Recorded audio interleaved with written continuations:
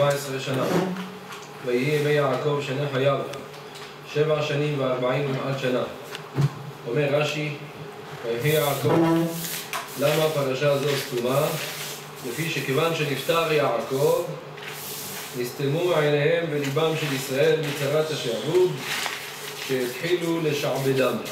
לכן הפרשה הזאת סתומה. בדרך כלל, פרשה, יש פרשיות פתוחות, יש פרשיות סתומות בין פרשה לפרשה, אז יש רווח של תשע אותיות. אבל פרשת ויחי, מיד ויאחזו בה ויפרו וירבו מאוד, ויחי יעקב בארץ מצרים. הפרשה הזאת היא ככה מיד סתומה, אין שום, אה, אין שום רווח. אומרים בדרך רמז שבן אדם חושב לפעמים שזה פתוח, אבל הכל חלק, אין שם כלום. וכאן סתום, ואיפה שסתום התורה כותבת ויחי יעקב. תדע לך שאיפה שסתום, ואיפה שאתה חושב ששם זה הברוך הכי גדול שלך, שם ויחי יעקב, שם מתחילה צומחת לך ישועה, אבל אני הרי הפסדתי, איך יכול להיות? מה אתה מסביר? מה ההיגיון? אין היגיון. תדע לך שהקדוש ברוך הוא מסובב את כל הסיבות רק בדברים שאתה לא חושב שזה ככה. אנחנו כולם מכירים את הסיפור על נחומיש גמזו שהגמרא מספרת במסכת הענית ובמסכת סנהדרין שהיהודים שלחו אותו, רצו לשלוח איזה ארגז לקיסר והיהודים ששמו לו, מילאו לו ארגז מלא ביהלומים שלחו אותו. נחומיש גמזו הגיע לבית מלון שם היו שם אנשים רעים, ריקנו לו בלילה את כל הארגז, שמו לו בתוכו עפר והוא הגיע ל... הגיע לרומא, הגיע לקיסר, לא יודע איפה, בקיסרי או ברומא, אבל הגיע כשפותחים את הארגז מה אנחנו משגמזו חשב? אנחנו משגמזו היה רבו של רבי עקיבא אנחנו חושבים שזה איזה אחד דבר או משלוחן על טוסטוס אנחנו משגמזו, תנא אלוקי, רבו של רבי עקיבא רבי עקיבא רבו של רבי שמעון בר יוחאי מה יש לנו הבנה בתנאים האלו? נכון, משגמזו פותח, פותחים שם את הארגז בבית, בבית של הקיסר ורואים שם עפר. מה היה עובר יהודי פשוט, מה היה חושב? ריבונו של העולם, נו באמת. זו תורה וזו שכרה. בשביל זה הייתי צריך לעזוב את בית המדרש, עזבתי את התנאים, עזבתי לדרוש את כל הדרשות שדרשנו שם, בדרשות שהייתי דורש פסוקים, עזבתי את הכל, באתי לפה, בשביל מה? בשביל לראות עפר. ונכון, מי שגמזו אומר גמזו לטובה, גמזו לטובה. ומהגמזו ומהעפר הזה צמח ישועה לעם ישראל. דווקא אולי אם היו שולחים ארגז של יהלומים היה הכסר אומר מה חסר לי יהלומים? בלי הכסף ולי הזהב. הרי אם אני ארצה אז אני אגזור גזירה על היהודים היהודים הביאו לי פה ארגז של יהלומים בלי, בלי מתנות אני לא צריך את המתנות שלהם. אבל הוא כל כך התפעל שהוא ראה שזה משהו, מתנה מאוד מיוחדת. מה הצמיח את המתנה הזאת? רק הכוח של הגמזו לטובה. הכוח הזה שהתנא הזה לא חשב את כל המחשבות למה נזרקתי לפה ולמה ככה? הוא מהפרשה הסתומה עשה ויחי יעקב. זה הגדלות. אנחנו כבר מכירים את כל הסיפור, אז מההתחלה אנחנו מכירים, אה, אנחנו גם זה טוב, גם זה לטובה. נו ודאי, מהעפר הזה. אבל צריך לדעת, כמו שהרבי שלמה קלוגר מביא בפירוש שלו להגדה של פסח, הוא אומר, כשעושים חפירות במכרות זהב, אז ודאי, במקומות האלו תחפור תמצא בין העפר פה, תמצא, תמצא זהב, תמצא, זה האדמה שאתה יכול למצוא, עושים קידוחים בשביל למצוא נפט, לא בכל מקום שתקדח אתה תמצא נפט, יש מקומות שתקדח תמצא נפט. אומר שהקדוש ברוך הוא, הוא לא צריך את מכרות הזהב בשביל לעשות זהב, הוא גם מבוץ יכול, לך, יכול לעשות לך זהב. בשר ודם הוא מוגבל, הוא יכול לעשות יש מיש. אבל הקדוש ברוך הוא, עזרי מעם השם, עושה שמיים וארץ. את השמיים וארץ הוא עשה יש מאין. ככה האמונה שלנו שהקדוש ברוך הוא ממציא יש מאין. וזו האמונה. היה בבני ברק יהודי צדיק שנפטר לפני כמה שנים הרב מנדל. הוא היה חבר טוב של החכם אברהם חי זכר זכר צדיקים לברכה. הרב מנדל סיפר על אבא שלו. אבא שלו היה בחוץ לארץ, אני לא זוכר את שם העיירה שהוא היה גר שם. היה יהודי, מכובד ובאו אליו כמה סוחרים ואמרו לו הפצירו בו מאוד שיעשה מסחר ליין, כנראה שהוא היה מבין בזה, לעשות, היה סוחר, אמרו לו, נתנו לו סכומי כסף גדולים מאוד, אמרו לו תסתחרר בשבילנו ביין. והוא קיבל, ודאי שהבטיחו לו כמובן גם כן רווחים, אז הוא קיבל וקנה כמויות עצומות של חביות יין. קנה חביות יין, שם את זה אצלו במרתף, אחרי תקופה מסוימת, כשהוא נכנס למרתף, אז שם אומרים חשכו עיניו, אבל הוא חשך לו האף, למה הריח שיצא משם, היין החמיץ, והיה שם נורא ואיום. כל הסוחרים ששמעו את זה, זה היה סכומי כסף גדולים מאוד. מה, התעצבנו עליו, כעסו, אתה לא החסנת טוב את היין בגללך. הוא אמר להם, מה? זה לא פעם ראשונה, אתם יודעים שזה המקום, אלו ואלו תנאי האחסנה שאני מאחסן את היין. זה לא קשור אליי, ואתם ידעתם, ידעת דרכי, סבר וקבים, מה אתם רוצים ממני? אה, ויכוחים, ויכוחים, אמר להם, טוב, מה אתם רוצים? בואו נלך לבית דין, מה שהדיינים יפסקו, מקובל עליי, יגידו שאני חייב, אני אשלם לכם. לא רוצים בית דין, רק שופט בבית משפט. אין ברירה. ניגשו לבית משפט, בית משפט שופט גוי. השופט שומע את הטענות, ראה את האבא של הרב מנדל, יהודי מכובד. אמר לו, דברים כהווייתם. השופט השתכנע. אמר לו, תשמע, ניכרים דברי אמת, אבל אני רוצה שתישבע. אם אתה נשבע, אני פוטר אותך מתשלום. אמר לו, אני כל ימיי לא נשבעתי, גם על דבר שזה ודאי שהוא אמת. אני לא נשבע, אני לא מוציא שבועה מהפה שלי, זה גדר. יש אנשים שמשחררים שבועות, נשבע באלוקים, נשבע בהשם ישמו. מאוד להיזהר, לא יחד דברו, אסור, אל תתעסק בשבועות ולא בנדרים. זה במאמר המוסגר. הוא אמר לו, אני לא נשבעתי אף פעם. אמר לו, טוב, תראה, אם אתה לא נשבע, אז אני מוכרח, ל... מוכרח לחייב אותך, וככה וככה. הוא אמר שהוא פשוט נשלו אותו מנכסיו. מה שקרה, זה שהוא היה צריך למכור את הבית שלו, הוא עזב פשוט את העיירה שהוא היה שמה, הוא היה צריך לעבור לעיירה אחרת. הוא אמר שאבא שלי אמר באותו זמן, כל מה דעביד רחמנה לטב עביד, מה שהשם עושה, עושה לטוב. מה עושה לטוב? הפסדת פה כסף, הפסדת את הבית שלך, את כל העיירה, את מקום המגורים שלך הפסדת, ואתה צריך ללכת למקום אחר. הוא אומר, כל מה שהשם עושה, עושה טוב. אומר שמה שקרה באמת, זה שהוא עבר לעיירה אחרת, לתקופה קצרה אחרי זה, אז פרצה מלחמת העולם השנייה, והנאצים, בעיירה איפה שהם גרו, הם, זה היה התחום שלהם. בעיירה איפה שהוא עבר, זה היה החלק השני של רומניה, שהנאצים לא, לא כבשו את המקום ההוא, ואז בזכות זה הוא ניצל. ואז למפרע הוא הבין מה שקרה לו כמה שנים אחורה. אמר, אתה רואה שכל מה שהשם עושה, עושה לטוב. רק צריך להיות בסבלנות ולחכות לראות איך הסיפור נגמר. ואז להבין איך הקדוש ברוך הוא תפר את הישועה שלך. נכון שלא פה, לא כל פעם הקדוש ברוך הוא תופר ישועות בצורה כזאת, אבל לדעת שגם כשהקדוש ברוך הוא מנשל מישהו מהנכסים, ואז אני למטה, אני לא מבין כלום. זה לטובה, מה אתה, מה אתה מתבחן עכשיו? ויחי יעקב, הפרשה סתומה וזה ויחי יעקב, זה לטובתך. היה עוד סיפור של ניצול שואה שהוא סיפר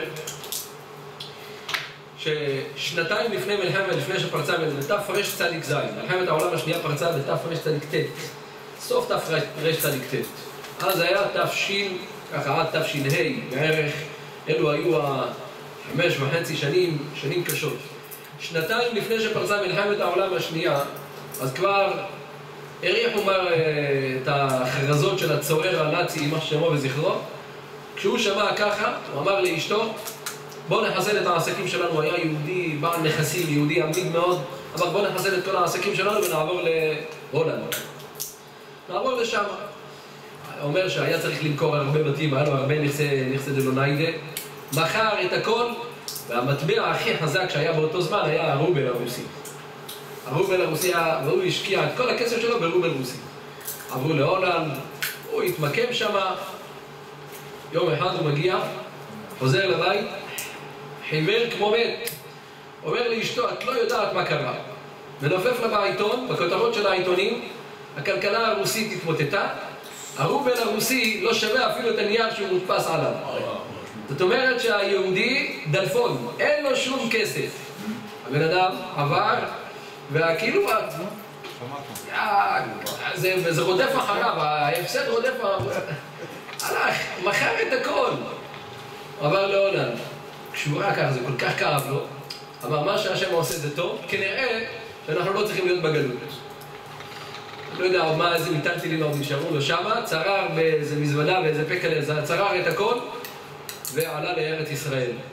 הוא אומר שהנאצים, יימח שמם, בימים הראשונים שהם כבשו, נכנסו ישר להולנד והם לקחו את הרשימות מהמשטרה שם, מהמרשם האוכלוסין, אומר שהוא היה יהודי מכובד מאוד, יהודי עשיר, הנאצים טיפלו ראשון, הראשונים שטיפלו בהם זה היה היהודים המכובדים. אומר, אני הייתי צריך להיות בין אלה שהיו ראשונים מטפלים בהם. והקדוש ברוך הוא נתן לי את ה... לפלטה לטובה, הצלתי את החיים שלי. איך? נכון? פרשה סתומה. הפסדתי את כל הכסף שלי, אבל זה ויחי יעקב, זה לדעת. בכל צעד ושעל ויחי יעקב, גם כשאדם, גם כלב רגץ על מוות לא ירא רע, כי אתה איתי. יש פירוש מיוחד מאוד שאומר אותו בעל הטורים. בסוף הפרשה כתוב וישוב יוסף מצרים ההוא ואחיו וכל העולים איתו לקבור את אביו אחרי קוברו את אביו. ויראו אחי יוסף כי מת אביהם. ויאמרו לו יסתמנו יוסף והשם ישיב לנו את כל הרעה אשר גמלנו אותו. ויצוו אל יוסף לאמור אביך ציווה לפני מותו לאמור כה תאמרו ליוסף אנא שנא פשע אחיך וחטאתם כי רעה גמלוך. ועתה שנא לפשע עבדי אלוהי אביך ויבכי יוסף בדברם אליו אומר בעל הטורים ויראו איך יוסף כי מת אביהם. הם ראו שיעקב אבינו נפטר ויאמרו לו יסתמנו יוסף והשם ישיב לנו את כל הרעה אשר גמלנו אותו. אומר בעל הטורים יש מפרשים. לו יסתמנו יוסף הלוואי יסתמנו יוסף בליבו ולא יעשה לנו מעשה. הלוואי לו יסתמנו יוסף הלוואי שיוסף לא יעשה לנו כלום ואם חפץ לעשות, אם כבר יוסף יעשה לנו משהו, אז ישיב לנו את כל הרעה שגמלנו אותו. כי מה עשינו לו? גרמנו לו שנעשה מלך מחמת שמכרנו, ונתגלגל לדבר שנעשה מלך במצרים, אז כן יעשה לנו. הלוואי שיוסף לא יעשה כלום. אם כבר יעשה, שיעשה לנו גם מה שאנחנו עשינו לו. אנחנו עשינו לו אמנם מכרנו אותו, זרקנו אותו לבור, אבל משם הוא נתמנה למלך, 80 שנה הוא מלך. כל הסבל? בסדר, שיעשה גם העסקת חבילה. 12 שנה בבית סוהר, אבל אחרי 12 שנה, 80 שנה מלך. אז לא יסתמנו, אבל אם כן, אז שיעשה לנו את כל הרעה אשר גמלנו אותו. אומרים לו האחים, ואתה שא נא לפשע עבדי אלוהי אביך, ויבכי יוסף בדברם אליו. יוסף בכה. אומרים אלוהי אביך, זה ראשי תיבות אי לאו היי יומא, זה ראשי תיבות אלוהי, אביך, זה ראשי תיבות מהסוף, כמה יוסף היכה בשוקה. זאת אומרת, אם לא היום הזה שמכרנו אותך, בשביל זה התגלגל הדבר שעלית לי גדולה, אז כמה יוספים יש בשוק? הרבה יוסף יש הרבה, אבל לא, אף אחד לא נהיה מלך. מי גרם לך להיות מלך? אנחנו, שאנחנו מכרנו אותך. אז אם ככה בן אדם ככה חושב על הדברים שלא הולך לו, פה לא הולך ופה לא הולך, אז תראה, הנה, זה דווקא האדם שחשב שלא הולך, והכי גרוע שיש, והאדם שמודה על הכי גרוע שיש, אז משם הוא רק עולה למעלה, עולה לגדולה. זה האדם צריך לדעת, זה מוסר השכל גדול מאוד. ויחי יעקב בארץ מצרים, בתוך המצרים, בתוך הצרות שיש לבן אדם. ויחי יעקב, דווקא משם, שאדם ידע לקדוש ברוך הוא. בהמשך כתוב, ויהי אחרי הדברים האלה, ויאמר ליוסף הנה אביך חולה. ויקח את שני בניו עמו, את מנשה ואת אפרים וכולי, ויתחזק ישראל וישב על המיטה. אז יש פה רמז יפה של הגאון מווילנה. הגאון אומר, הגמרא אומרת שמי שמבקר את החולה, אז הוא לוקח אחד משישים בחוליו. מישהו בן גילו, בן מזלו. בן, בן גילו, בן מזלו, ככה הר"ן שמה אומר. לא כל אדם. אז איך אצל יעקב בן? יעקב ויוסף, וישב על המיטה. או, או, עכשיו ככה, יוסף היה בן גילו של יעקב, קבלה בן מזלו. מה שקרה ליעקב, קרה לי 22 שנה, לא היה אצל אבא שלו, גם זה 22 שנה לא היה אצל אבא שלו. סבל, סבל, לכן תחון, אומרים שארית יעקב וגם שארית יוסף. אנחנו עם ישראל, זה נקרא גם על יעקב וגם על יוסף. אז אומר הגאון, ויאמר ליוסף, הנה אביך חולה, הנה בגימטריה שישים, ה' ה' ונון. אבל כשיוסף בא, ויאמר ויגד ליעקב, ויאמר הנה יוסף בא אליך, אז ויתחזק ישראל וישב על המיטה. המיטה בגימטריה 59, שהוא לקח לו אחד מ-60, אז נשאר 59. ככה אומר הגאון מווילנה. יש עוד פירוש, ויתחזק ישראל וישב על המיטה. כתוב והמן נופל על המיטה. על המיטה כתוב גם פה וגם והמן נופל על המיטה. בעל הטורים מביא את המסורה הזאת. מה הרמז? בעל הטורים הולך לפי דרכו. אבל אפשר להגיד עוד דבר. הגמרא אומרת במסכת ברכות, אל תשב על מיטת ארמית. לא לשבת על מיטה, מיטה של גויה. מה הכוונה? אז הגמרא מביאה כמה פירושים. אחד הפירושים אומרת הגמרא, לא לישון בלי קריאת שמע. אתה שומע? לקרוא קריאת שמע על המיטה לפני שהאדם הולך לישון, יקרא קריאת שמע. מה גם? אנחנו עוד מעט, שבוע הבא, יום ראשון, מתחילים ימי השובבים, ימים גדולים מאוד, והאריזה אמר שיש תיקון גדול בקריאת שמע שעל המיטה שהאדם קורא, שיקרא את זה בכוונה. לא ככה, רבע זה ושלושת רבעי רדום, ככה מדלג את זה ככה כפיסח, לא, תקרא את זה טוב. מי שקשה לו, הרדום, שיעמוד ויקרא.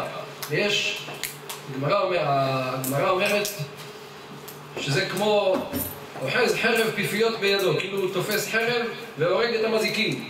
וגם מזיקים שהשם ישמור נבראו מהעוונות של האדם, מי שקורא קריאת שמע בכוונה, הקריאת שמע כורתת אותם, הורגת אותם. קריאת שמע, הכוח שלה גדול. אדם יקפיד מאוד לא ללכת לישון בקריאת שמע שעל המיטה, מילה מילה בכוונה. רדום, יעמוד, יקפוץ, יעשה התעמלות בשביל שלא להירדם. זה דבר גדול מאוד, בפרט בימי השבבים. כל השנה צריך להקפיד על קריאת שמע שעל המיטה. אבל בפרט בשישה שבועות האלו עכשיו שבאים לקראתנו לשלום. זה צריך לחזק, וגם לחזק אחרים, להגיד להם, להקפיד על קריאת שמע שעל המיטה. אז אומרת הגמרא, לא לישון בקריאת שמע שעל המיטה, וזה, איך הגמרא קוראת לזה? מי שהולך לישון בלי קריאת שמע, זה כאילו ישן על מיטה של גוי, השם ישמור. רשעים, הם מגיעים ככה בסוף היום, סמרטוט, איך הוא אומר? נזרקתי על המיטה. ויתחזק ישראל, וישב על המיטה. צדיק, ויתחזק, וישב על המיטה. יושב, קורא קריאת שמע, אז הולך לישון. המן, זה רשע, נופל על המיטה, ככה כמו איזה... זה לא מעניין אותו כלום, איזה קריאת שמע ואיזה בטיח. זה נופל על המיטה. וזה הרגע, ויתחזק ישראל וישב על המיטה. ואז... ואז צריך לסיים, הגיע הזמן. יש הרבה דברים בפרשה ארוכה מאוד. אבל יש לנו בהמשך. יעקב אומר ליוסף, ואני נתתי לך שכם אחד על אחיך, אשר לקחתי מיד האמורי בחרבי ובקשתי. ואני, ואני נתתי לך שכם אחד על אחיך. אומר התרגום, אשר לקחתי מיד האמורי בחרבי ובקשתי, דין נסיבית מידה דאמוראה בצלותי ובבעותי. מי לקח את שכם? כולם מלאים. ויקחו שני בני יעקב, שמעון ולוי, איש חרבו, ויבואו על העיר בטח, ויהרגו כל זכר שם, הרגו את כולם. זה מה שכתוב בפרשת וישלח, כשהם רצו לשחרר את דינה, אז הם הרגו, הרגו את כל העיר, אתם שומעים? זה נשמע ככה, תאר לך היום, לא צריך שני נערים בני 13 כמו שהגמרא, שמעון ולוי, לוי היה בן 13. שמעון תגיד עוד שנה וחצי מעליו, שנה, שנה פלוס מעליו. שני נערים בני 13-14 ייכנסו היום לשכם, אה יואל, מה אתה אומר? שני נערים יהודים נכנסים לשכם, הורגים את כל העיר. הייתכן הנשמע כדבר הזה, השם ישמור שמענו בתחילת השבוע, חיילים עם נשק, והשם ישמור, רק כנראה אלוקים, מה זה, רק הקדוש ברוך הוא מסיר את ההשגחה רגע אחד והם לא מפחדים, עושים מה שהם רוצים, השם ישמור. עם נשק, עם הכל. כאן, שני נערים נכנסים, הורגים עיר שלמה. איך ייתכן? יעקב אבינו מגלה לנו את הסוד. אומר לו יעקב ליוסף, אתה יודע, אתה ראית את שני הצוציקים האלה, שמעון ולוי? כמה אתה חושב שהם גיבורים גדולים? זה לא הם, זה אני. אני ישבתי בבית והתפללתי עליהם, וכל הכוח של שמעון ולוי, מה שהם הרגו שם העיר שלמה, זה בגלל התפילה שלי. אז אני, אני נותן לך עכשיו את שכם, זה העיר שלך, אשר לקחתי מיד האמורי בחרבי ובקשתי, אומר, אומר התרגום, בצלותי ובבעותי, בבקשה שלי, מה שאני ביקשתי, מה שאני התפללתי, לקדוש ברוך הוא שייתן את, אם נתון תיתן את העם הזה בידי, זה, בשביל זה שמעון ולוי זה הרובוטים, אלה הבובות, הם רק קצרו את הפירות שלי, אבל תדע לך, הכל תפילה שלי. צריך לדעת, זו תפילה, מה התפילה שיהודי יכול להתפלל, מה תפילה יכולה לעולל, תפילה יכולה כמו חרב וקשת. תפילה מעומק הלב, תפילה בכוונה יכולה לפעול גדולות ונצורות.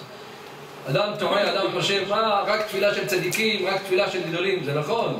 שהגמרא אומרת בבבא בתרא, מה יעשה האדם? אדם שיש לו חולה בתוך ביתו, ילך אצל חכם ויבקש עליו רחמים. זה נכון, הגמרא אומרת ילך אצל חכם.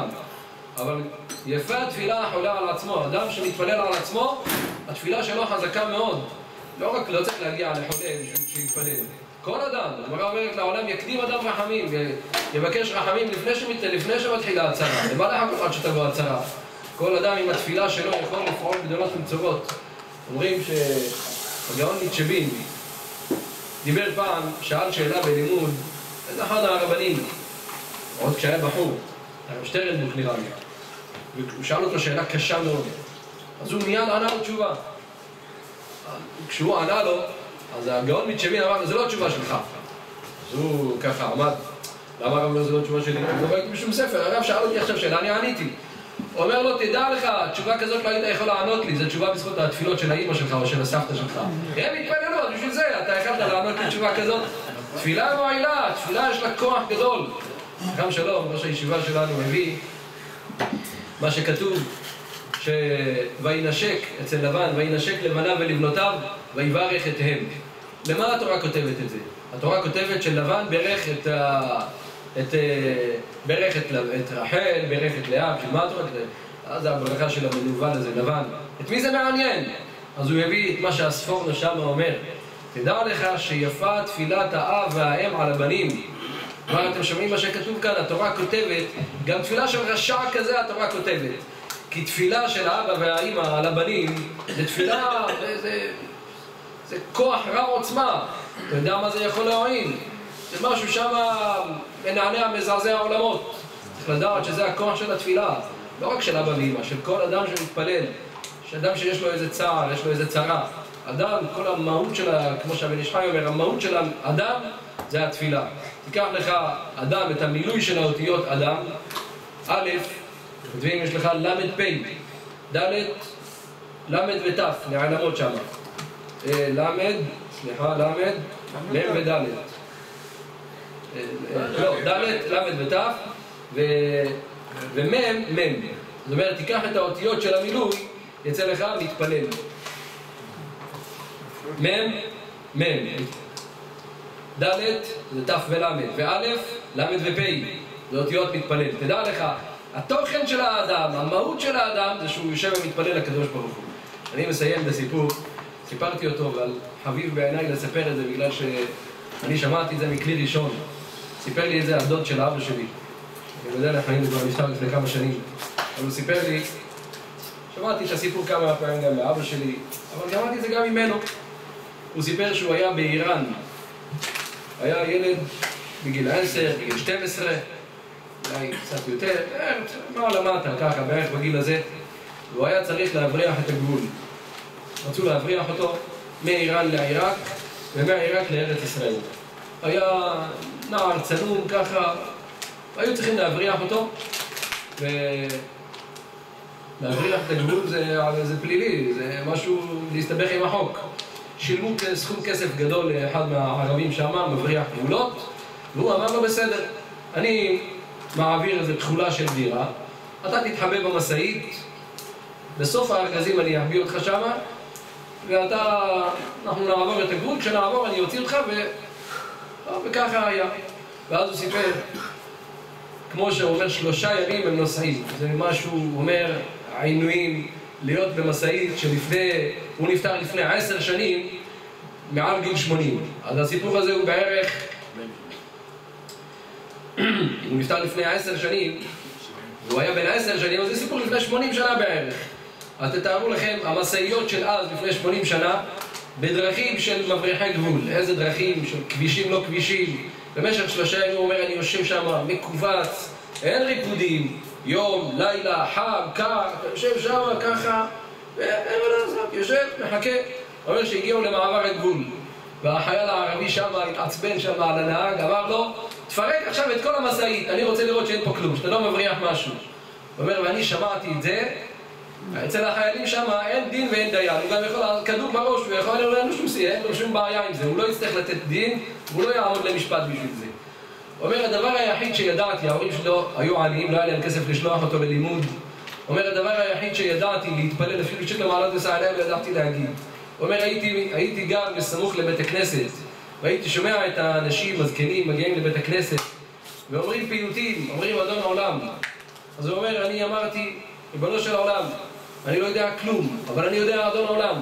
הוא אומר, ואני אומר, אדון העולם, ככה במשאית, מכווץ, אני שומע את הדלתות נפתחות, מתחילים להוציא קרטונים. ואני אומר, אדון העולם, במנגינה של העיראקי, ככה, אדון העולם, אשר מלאך, מסיים ואז נשיר בבית קודשי, הוא אומר בעיניים שלי, כולי דמעות. אני מסיים ואז נשיר בבית קודשי וחוזר עוד הפעם, אדון העולם, אדון העולם, ככה. אומר, חוזר וחוזר. ולבינתיים מפרקים, מפרקים, מפרקים. אומר, נשאר קרטון אחד, שאם מוציאים אותו רואים אותי. נשאר הקרטון ואז אני שומע את החייל אומר, סטופ, זהו, מספיק. תחזיר בחזרה את הכל, סע לשלום. הוא אומר, אתה רואה מה הציל אותי? אני לא ידעתי אפילו להתפלל. אבל התפילה הזאת היא האדון העולם הזה, שזה בא מעומק הלב. זה עלה לפני הקדוש ברוך הוא, וזה מה שהציל אותי. ואז הוא עלה לפה לארץ ישראל, בנה את הבית שלו. זה יעקב אבינו לימד אותנו, צלותי ובאותי. אתה רואה, הרבה דברים נעשים. זה, בסדר, זה אחיזת עיניים. האמת, מה שפעל זה התפילה. תתפלל, תדע לך, בכוח של התפילה, זה מה שפועל הכל. השאר הכל, קווה אל השם, חזק ויאמץ לבך וקווה אל השם, שם יזכנו. ברוך ה' לעולם,